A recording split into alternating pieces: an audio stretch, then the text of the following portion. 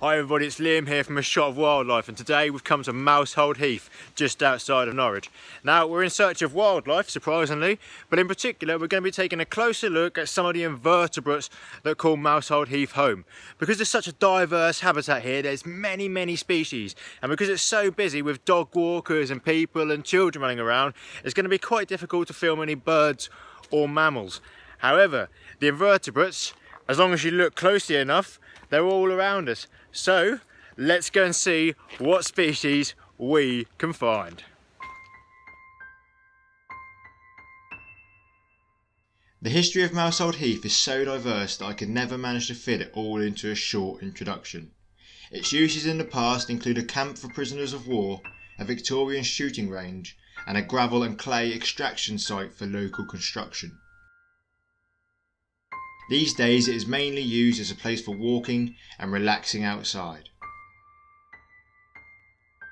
So with it being mid-August, the blackberries have come into bloom on Mousehold and that means there's plenty of food for the invertebrates. So it's going to be a good place to check and see if we can't find some species. I didn't have to look far before I found this flesh fly they are named as such because they lay their eggs on rotting flesh or dung and this is what their maggots feed on as they grow. The adult flies regurgitate on blackberries as they feed and this, unsurprisingly, turns them bad. Mmm, delicious.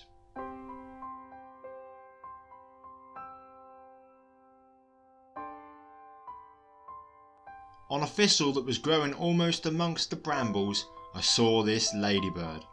I thought it was probably one of the invasive harlequin ladybirds that are quite common in the UK, but no, this is actually a native seven spot. They are a predatory member of the beetle family that are one of the gardener's best friends. They feed on a lot of aphids and other garden pests.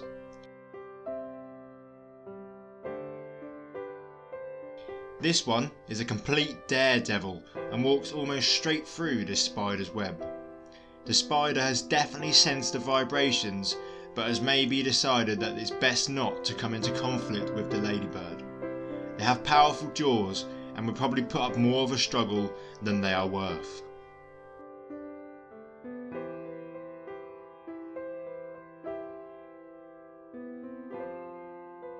It seems that I was wrong when I said that I would struggle to film any birds at Mousehold. This wood pigeon waddled out in front of me and started displaying a behaviour that is almost unique to pigeons and doves. They are one of the only types of bird that can drink whilst holding their heads downwards. See here how it is taking multiple gulps without lifting its head.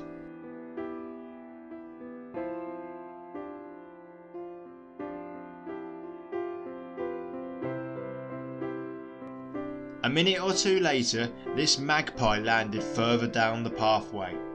I panicked at first, but my sorrow was replaced by joy when a second bird appeared from the tall grass. Here you can see that magpies drink the same way that most other birds do, taking a beakful of water and then lifting their heads to swallow it.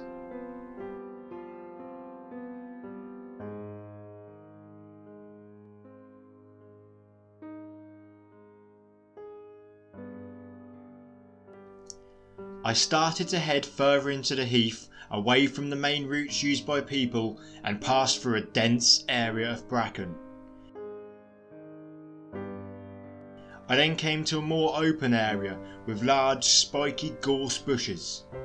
I scoured the ground in between the gorse looking for invertebrates and soon spotted this common field grasshopper. There are three species of grasshopper that are regularly found in the UK.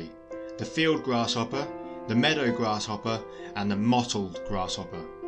This one could be identified as a common field grasshopper because it has a reddy orange tip to its abdomen.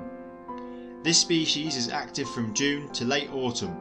During this time they mate and lay their eggs beneath the soil. These eggs develop over the winter and emerge as smaller versions of their parents the following year.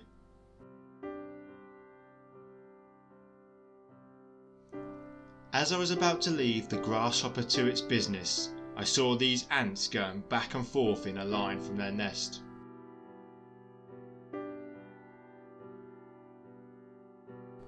There are 50 different types of ant that are found in the UK, and many of them are black like these.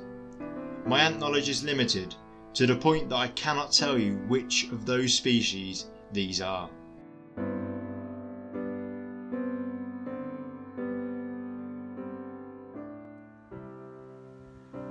Two ponds that I know of here at Mousehold Heath. There's this one here which has crystal clear water but it's in the shade so it's difficult to film in and then there's another one which is where the dog walkers all go and it's all really muddy however I've already been to the muddy one and I managed to get this footage of some invertebrates above the surface Here above the muddy and often disturbed water there are a small group of common blue damselflies.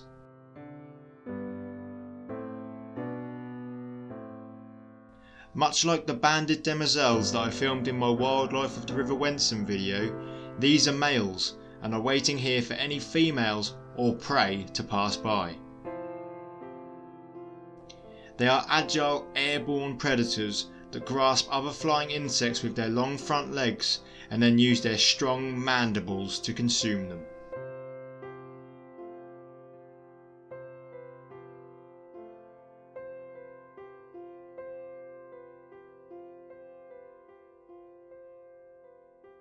The damselflies are not the only airborne predator. I also managed to briefly see this mating pair of broad-bodied chasers. Note how the male has grasped the female's neck with appendages at the end of his tail. Unfortunately, a dog ran into the pool at this point and the pair of dragonflies left before I could get any more footage. Now the reason I've come to this second pond with its crystal clear water is because over there on the bank I've got my waterproof camera um, so I'm going to stick it in and see if we can't happen to catch a few creatures on film. I know earlier in the year there were some newts here, um, but I think I'm maybe a little bit late in the year for them to be in the water still. However, let's see if we get anything on film. Although the water looked clear from above, this was not the case. These hundreds of orange dots are actually tiny little animals known as Daphnia. If you look closely here you can just make out a newt larva moving from right to left, but this was unfortunately the only larger creature I filmed beneath the surface.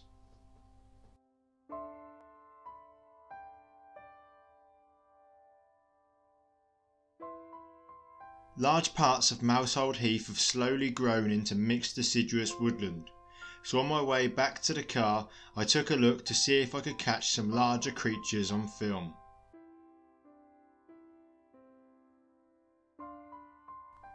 This grey squirrel was not keen to be on camera but I managed to get a few clips of him before he moved out of sight. Grey squirrels are a contentious species that were introduced by people and have been blamed for the demise of the native red squirrel.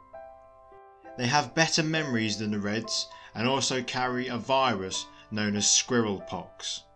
The grey squirrels are immune to it, but it is fatal to the Reds.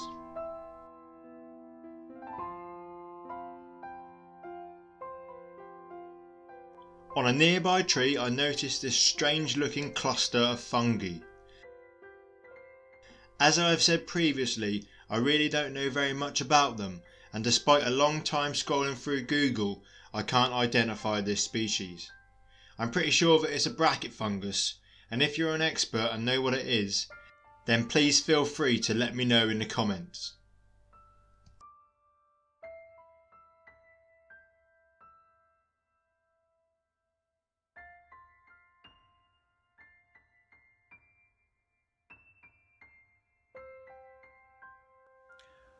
Well then guys, unfortunately that's all got time for today. I didn't manage to catch as many species on camera as I wanted to and there's so much more of the heath left to explore. So I guess I'm just to have to return and do part two of this video. If you did enjoy this video though and you learned a little about and if you learned a little bit about some of the species featured then please leave a comment, leave a like and subscribe to the YouTube channel if you can. It really helps and it really motivates me to go out and make more British wildlife videos. Thank you for watching and I'll see you again soon.